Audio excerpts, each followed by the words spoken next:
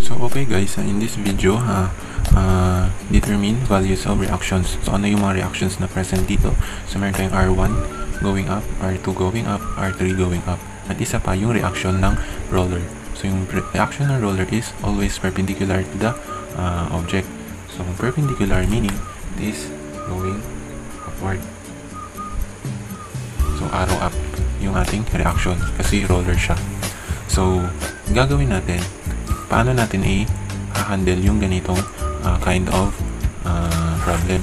So, since dalawa yung object natin na naka-attach sa reaction or meron siyang rollers sa pagitan nila, yung unang gagawin natin is isa-suggest ko na unahin muna natin isolve yung mga forces or unahin muna natin isolve yung upper na object. So, i-identify muna natin yung mga given at isolve natin yung unknown dito sa na nag exist sa upper. So, diretso na tayo. So, applying uh, moments. So, magsiset tayo ng moments dito sa R sub 3. So, moment of R sub 3 or R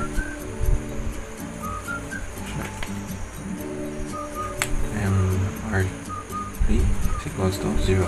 So, ito yung uh, MR3 natin. So, meron, uh, naglalagay ako ng point. So, neglect natin sa baba at focus muna tayo sa taas. So, yung mga forces na meron tayo is 600 pound. So, assuming na ito is counterclockwise is positive. So, itong 600 pound multiply to perpendicular distance with respect to R3 is 10 plus 4. So, 600 times 14. Next is 1,900 is also going downward.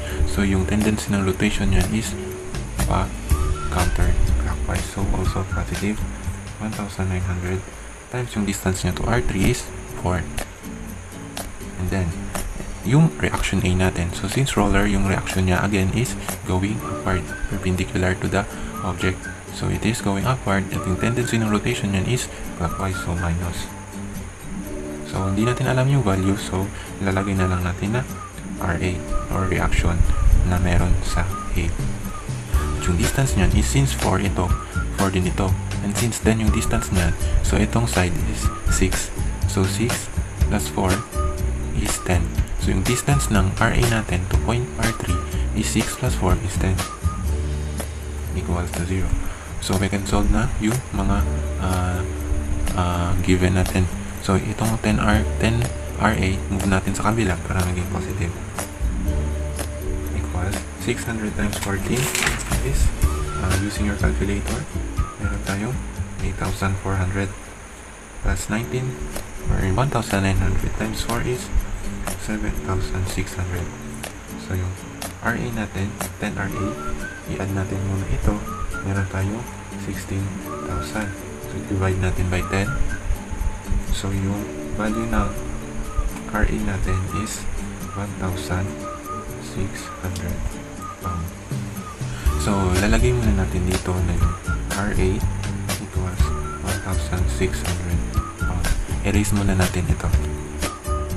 Okay, ngayon naman is hahanapin na natin yung value ng R3.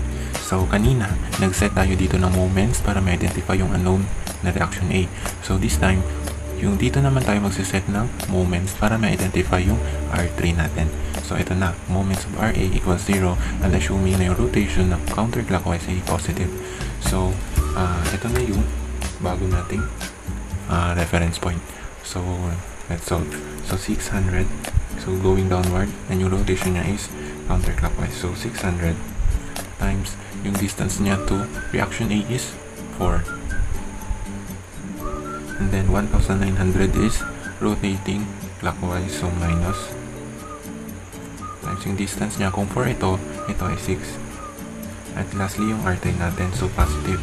Kasi it's rotating counterclockwise. At yung distance niya to point A is 4 plus 6 is 10. Then solve. So ito, uh, magiging uh, 2,400. Ito, minus uh, using calculator, 11,400. And then ito, 10 R3 equals 0. So, uh, add natin ito. So, magiging uh, negative 9,000 or negative 9 uh, 9,000 and ito is 10R3 so i-move natin ito dito. So 10R3 equals so ito magiging positive. So divide natin by 10 at yung R3 natin is equal to 900 pound so yung R3 natin is 900 pound so again uh, erase muna natin So, nasolve na natin yung mga unknown sa taas. So, nasolve na natin yung RA at yung R sub 3. So, wala na tayong problema sa taas. Yung problemahin na natin ngayon ay yung sa baba. So, yung unknowns natin ay dalawa rin, R1 at R2. So, kagaya ng ginawa natin sa taas, mag-set tayo ng moments ng isang unknown para masolve yung value ng isang unknown. So, pinili ko muna yung R sub 1.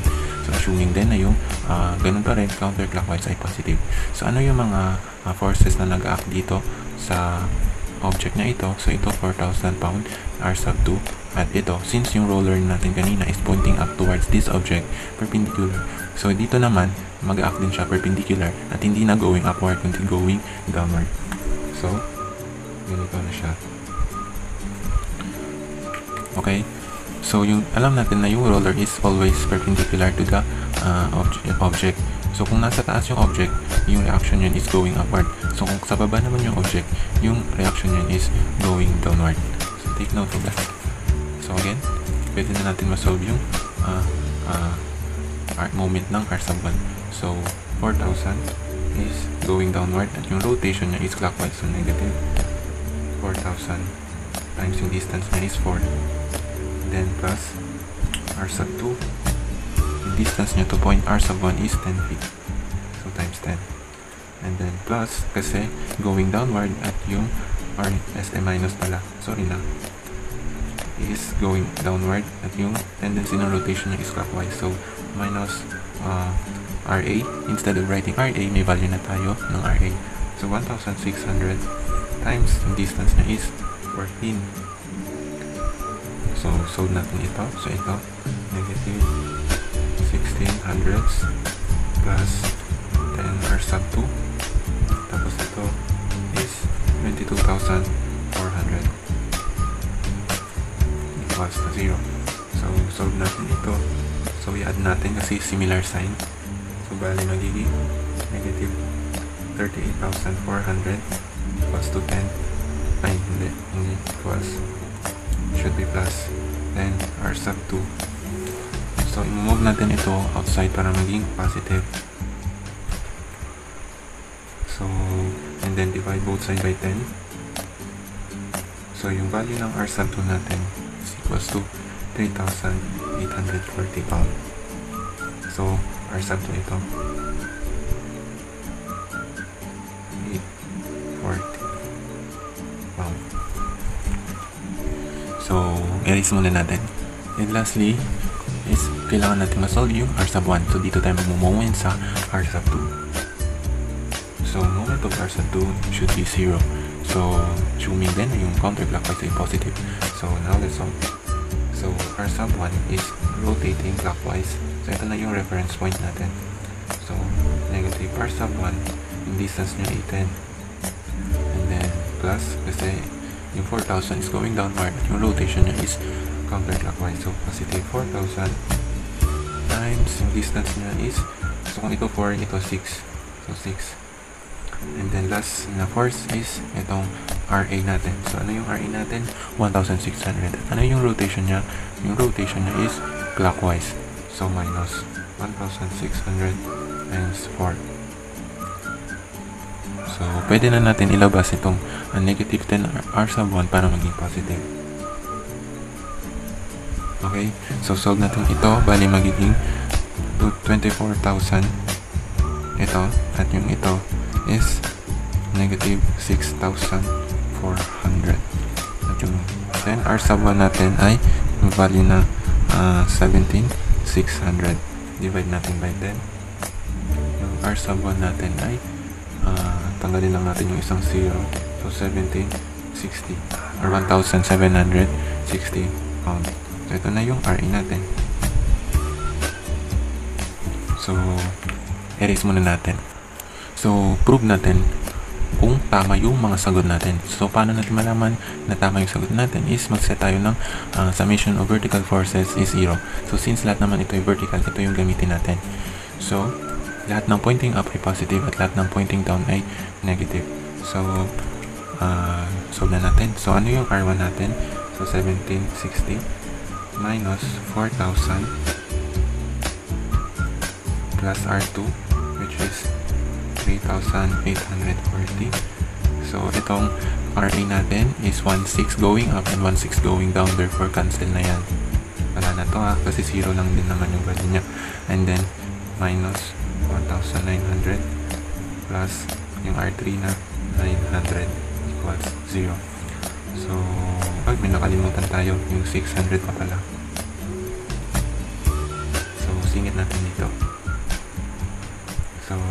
Na tayo. Nasulat na natin lahat. And using your calculator, yung value niyan, it's value ng uh, lahat ng ito ay 0. So, pwede nyo gamitan ng calculator kung ayaw nyo maniwala. So, pag nag-exact ito na 0 equals 0, therefore, yung mga sagot natin ay tama.